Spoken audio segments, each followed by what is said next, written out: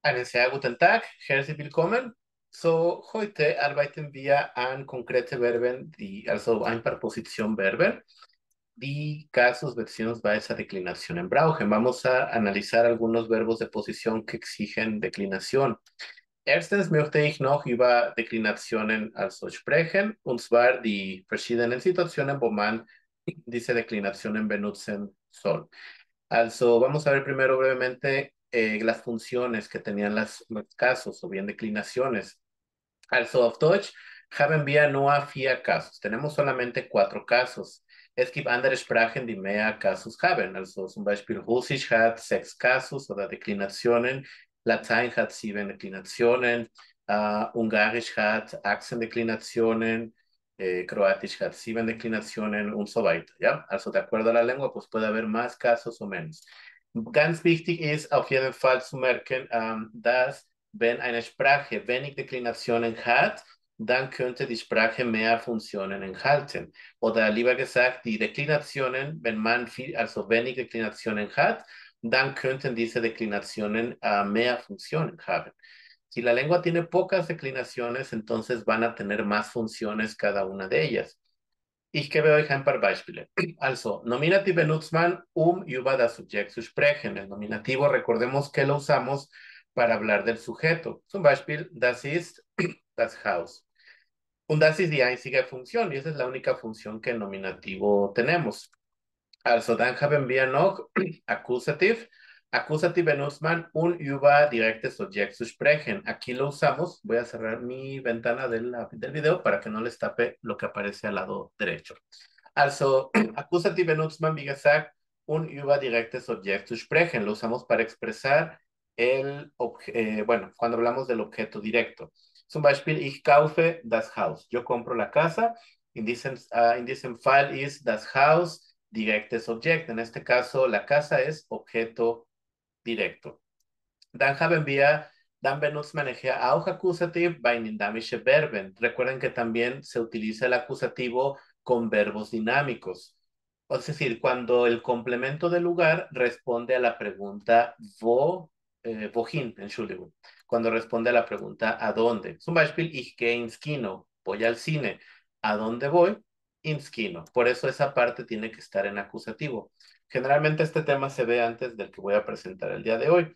Solamente lo menciono para que quede claro que el acusativo no tiene una sola función, porque generalmente eh, hay confusión con este tema, ya que hay muchas funciones para el mismo caso. En otras lenguas, como mencioné, si hubiera más, eh, donde hay más casos, la cantidad de funciones por caso es menor, entonces es menos probable confundirlos, pero también hay más terminaciones que memorizar. Okay, dann ähm, Nummer drei, also bei konkrete Präpositionen beziehungsweise äh, gegen, umherum, entlang, bis, über, in, an, auf, dynamisch, hinter, zwischen, vor, unten. Con algunas preposiciones concretas siempre se utiliza acusativo. Recordemos en este caso que las que están de color rojo también las vamos a encontrar en el siguiente caso, en la siguiente declinación. Pero aquí, eh, si el complemento o el, vaya, el, sí, el complemento del lugar está, tiene, es, es dinámico, eh, entonces, es decir, si el complemento del lugar tiene movimiento, tenemos que usar acusativo. Zum Beispiel, das ist Das ist für den Tisch. Aquí no hay pierde, es la preposición für que siempre va a exigir acusativo. ¿Sí? En otras lenguas usaríamos el caso local o ilasivo si fuera el húngaro. Eso va a depender mucho de la lengua. Pero en el alemán, con estas preposiciones en concreto, el color negro, siempre va acusativo. Das ist für den Tisch. Recordemos que originalmente el nominativo era der Tisch. Lo pongo del lado de acá.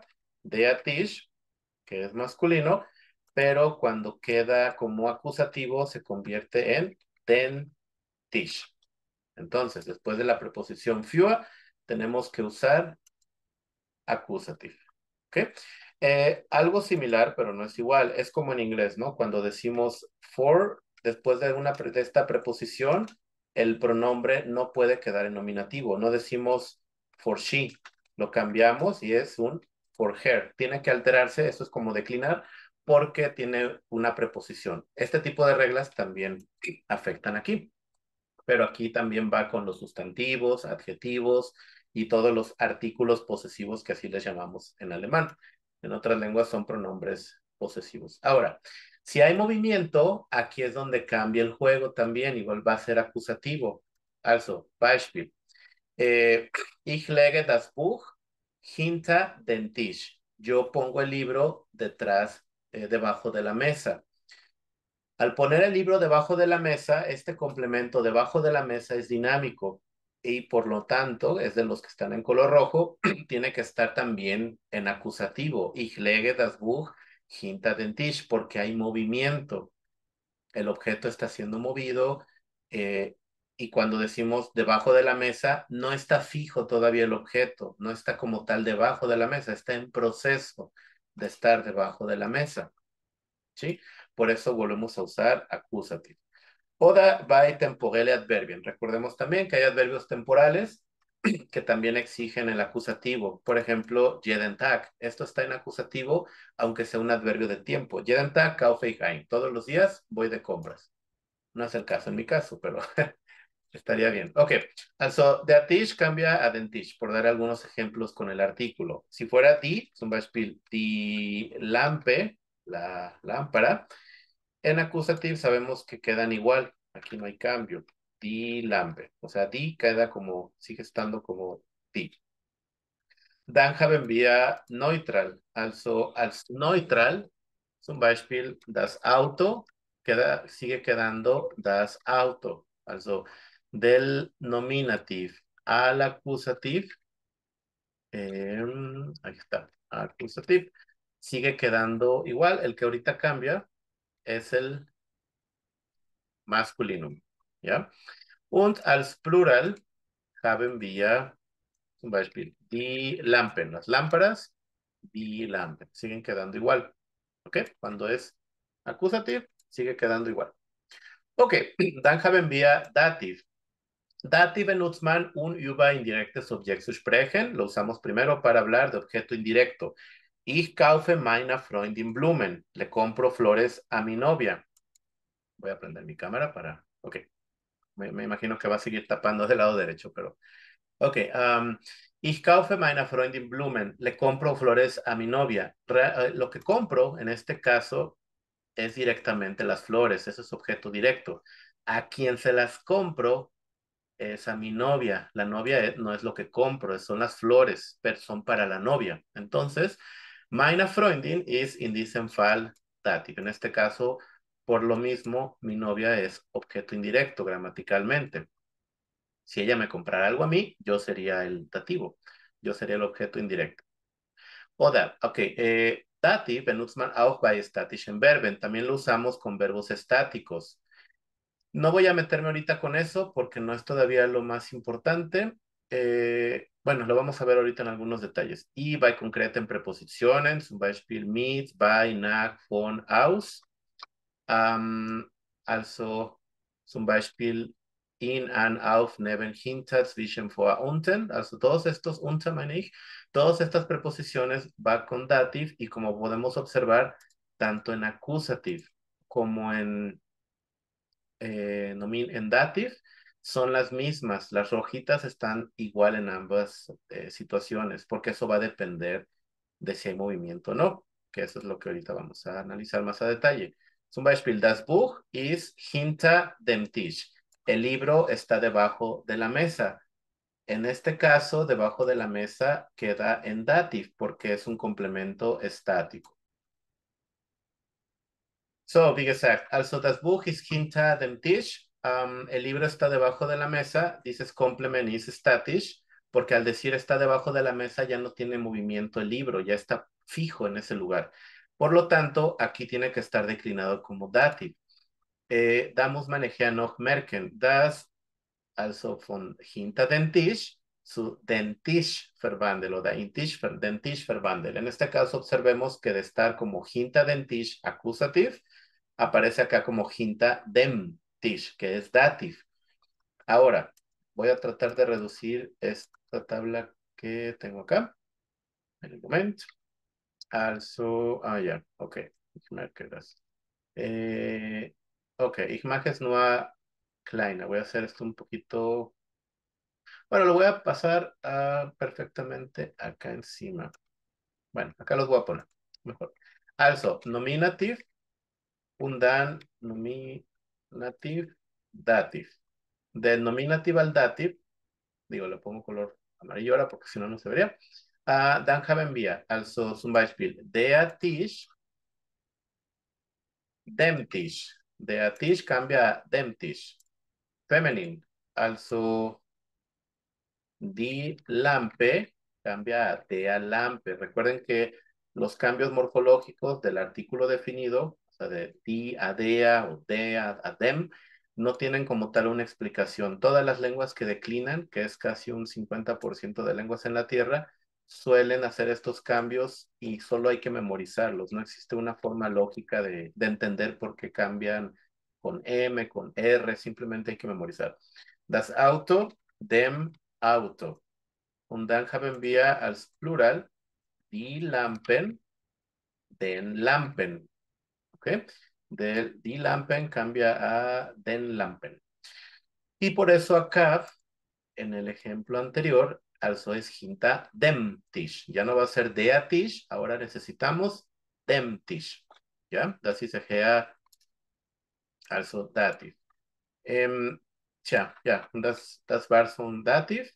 Die letzte Deklination ist Genitiv, aber das ist auf jeden Fall nicht das heutige Thema. Nuestra, el último caso, la última declinación que tiene el alemán es Genitiv, pero no es el tema de hoy, por lo cual ahorita no voy a hablar de eso es solamente otra declinación que más adelante va a ser útil. Ok, lass uns eher noch die entsprechende nächste Aufgaben kontrollieren. Vamos a revisar los siguientes ejemplos. En el momento, ¿no? Solo un segundo.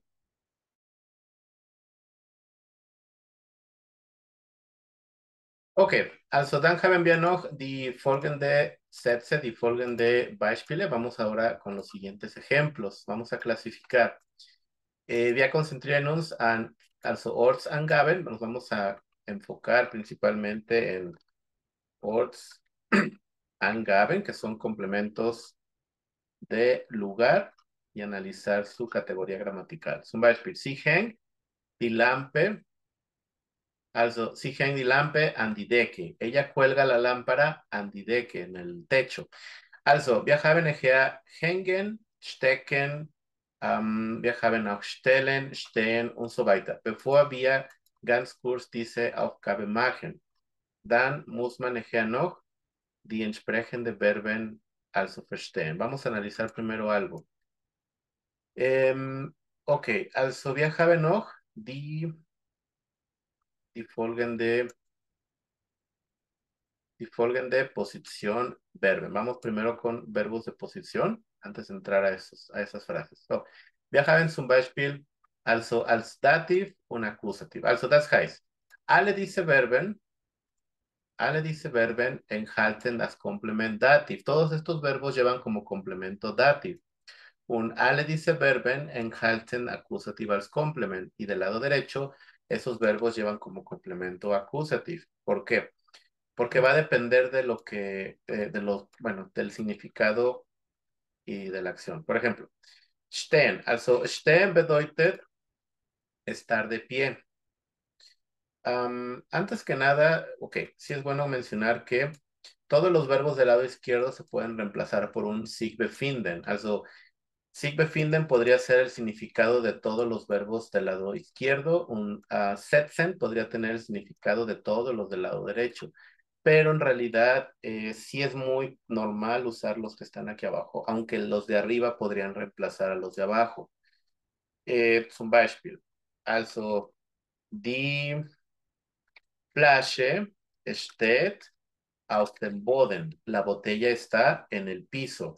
La botella como tal ya está estática, no tiene movimiento. Por eso ese complemento de en el piso va en dative. Recordemos que Boden es masculino y cambia dem. ¿Ok? Um, dann haben wir noch als Akkusativ zum Beispiel ich stelle die Flasche auf den Boden. Yo pongo la botella en el piso. ahí la botella está siendo puesta, todavía no está firme en el piso, está en movimiento, por lo tanto, tiene que estar en accusative, el complemento de en el piso. Ahora, las botellas por lo general están de pie, tienen, van en posición vertical. sí se pueden acostar, claro, pero generalmente las botellas se colocan de forma vertical y por eso usamos el verbo stehen. Vamos ahora a liegen. Also zum Beispiel das Handy, el celular, das Handy liegt auf dem Boden. Voy a, voy a usar Tisch. Vamos a poner Tisch para cambiar un poquito. Also, lieber gesagt, auf den Tisch, para seguir con el mismo patrón de los anteriores. Todo va a estar en la mesa. Also, eh, hier, das Handy liegt Tisch. El celular está en la mesa, pero realmente el celular está acostado.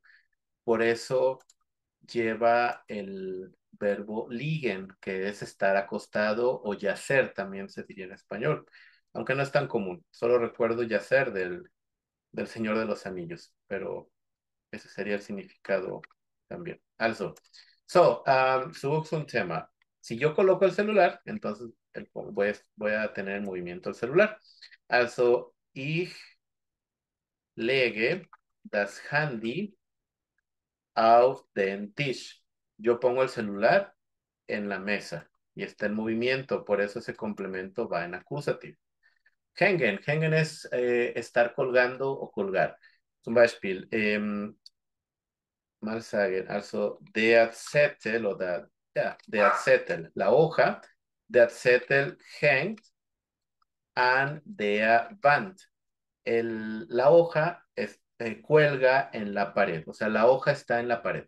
En español ahí es común que uno diga hay una hoja en la pared, pero, o sea, una hoja de papel, pero en alemán sería una, la hoja cuelga en la pared. Por eso se utiliza em, el complemento en dativ. Recordemos que Vant es femenino, entonces en dativ se convierte en dea. Und dann haben wir um, ich hänge den Zettel an der, an die Wand. Yo cuelgo la hoja en la pared. Aquí tenemos una situación importante. Um, ok, mal. Das, ok, den Zettel está en acusativo, por eso se tiene que declinar también, ya no va a ser deat Zettel. Recordemos que era originalmente deat Zettel como nominativo y aquí queda como accusative, porque en este caso den Zettel es el objeto directo, o sea, yo cuelgo la hoja. De hecho, bueno, también le pasó lo mismo a Das Handy, que también es accusative, y también Die Flashe, que es feminine. Pero bueno, en estos casos femenino y, y, neutro no cambian de forma cuando se cambian a, bueno, en acusativo no cambian de forma, solo cambian de forma con el masculino. En el masculino se ve el cambio, por eso previamente no lo mencioné, porque quedaban igual. Ahora, los complementos del lugar sí cambian, es lo que tenemos que observar aquí fuertemente. Um, also, auf den Tisch, auf den Tisch, an der Wand son lugares y aquí no hay movilidad del objeto, ya está ahí, en la mesa o en la pared. Pero acá es a la mesa, a la pared, hay movimiento porque yo estoy colocando los objetos en un lugar. Por eso la declinación es diferente. Pero hay que observar, recordar que los verbos tienen diferente connotación. Also, stehen y stellen tiene que ver con la posición vertical. Liegen und legen haben eher mit der Bank, also gerechte Position zu tun. Liegen y legen tienen que ver con la posición horizontal. Hängen, also hat, um, ja, mit hängen zu tun. Also hängen, pues es prácticamente colgar, estar haciendo, digamos, resistencia con la fuerza de gravedad. Y stecken, um, zum Beispiel, also cualquiera de los tres podemos usar. Eh, vamos a usar der, der Zettel steckt im Rucksack. La hoja está en la mochila. ¿Ok? La hoja está en la mochila y de este lado, ich stecke den Zettel in den Rucksack. Yo meto la hoja en la mochila.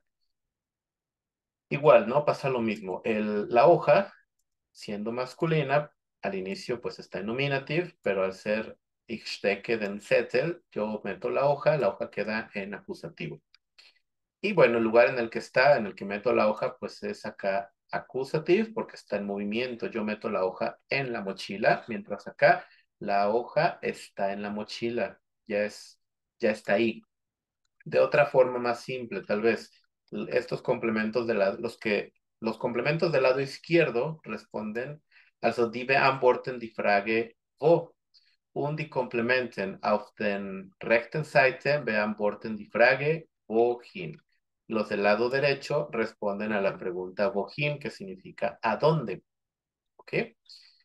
Gut, ähm, wir haben zwei letzte Verben, die nicht mit Positionen zu, oder noch ein bisschen tun hay dos verbos más que en otra ocasión mencionaré, que tienen que ver también con esta perspectiva, pero no es con objetos, aquí es con personas nada más. Los menciono con gusto en español, sería estar sentado y sentarse, que también tienen esta diferencia, pero no es para objetos, por eso no los voy a mencionar a detalle en este tema. Okay? So, uh, ich gebe euch also fünf Minuten Zeit, die entsprechende, um, tja, die entsprechende eh, Informationen zu schreiben. Unos minutitos para anotar esto, also vielleicht 10 Minuten, unos 10 minutos, y ahorita continuamos con otra actividad. ¿Ya? Ok, also gut.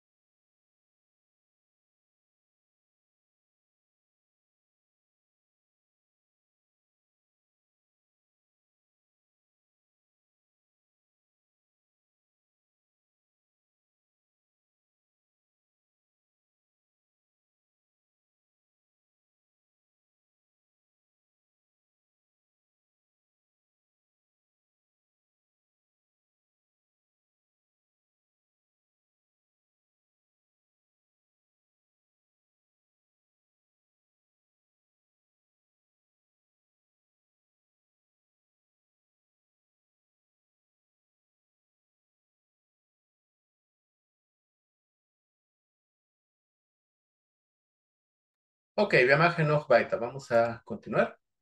So, jetzt arbeitet wir Kurs an okay, der folgenden Aufgabe. Vamos con la siguiente actividad. Zum Beispiel, wie gesagt, Sie hängen die Lampe an die Decke. Ella cuelga la lámpara en el techo. Die Lampe hängt an der Decke. La lámpara está colgando del techo. Sie steckt den Schlüssel in Schloss. Ella mete la llave en la cerradura. Recordemos que Schloss también es castillo, pero aquí por contexto tiene que ser cerradura. Der Schlüssel steckt im Schloss. La llave está en la cerradura. Sie hängt die Kleider in den Schrank. Ella cuelga la ropa en el closet. Die Kleider hängen im Schrank. La ropa está colgando en el closet. En español, pues solo diríamos, la ropa está en el closet, pero no sabemos si está colgando o está acostada, pero porque no le damos relevancia a nosotros. Hay algunas lenguas que sí lo hacen. También el purépecha hace mucho esto. Eh, sie stellt die Blumen auf. Ella pone las flores en la mesa. Die Blumen stehen. Las flores están en la mesa. So, ich gebe euch ein paar Minuten Zeit. Also, diese Sätze in zwei verschiedenen Gruppen einzustufen. Vamos a clasificar estas oraciones en dos categorías.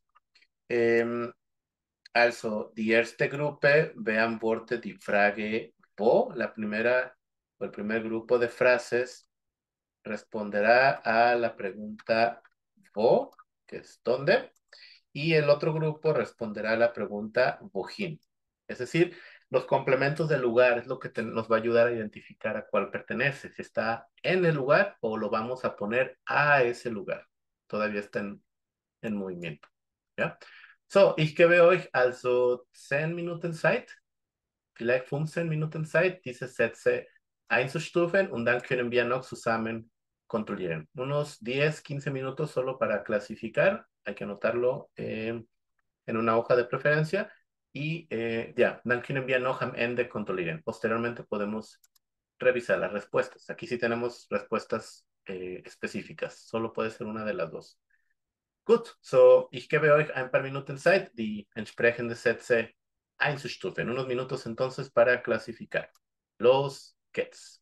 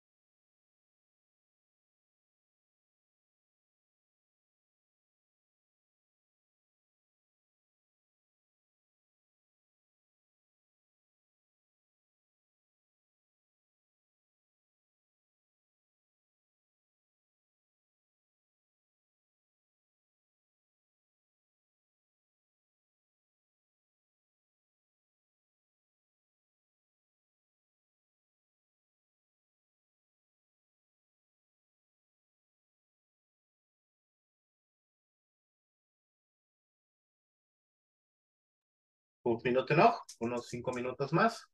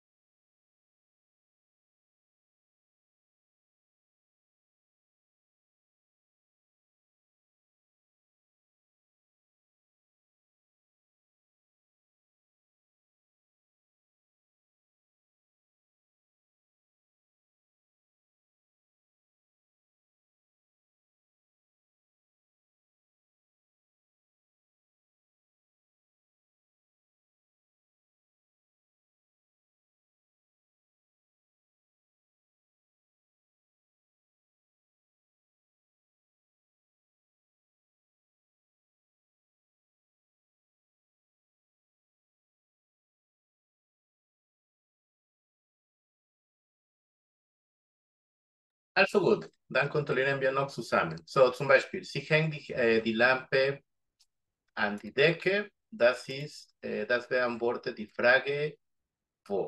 Voy a ponerle yo colores para, eh, porque no van a caber, eh, pero... O die glaube schon, ja, ich glaube schon. Also, guck mal. Um, so, Sie hängen die Lampe an die Decke. Das beantwortet die Frage, wohin. Ja, so. Sie also hier. Sie hängt die Lampe an die Decke. Sie hängt die Lampe an die Decke. Beantwortet die Frage, wohin? Die Lampe hängt an der Decke. Das beantwortet die Frage, wo? Die Lampe hängt an der Decke.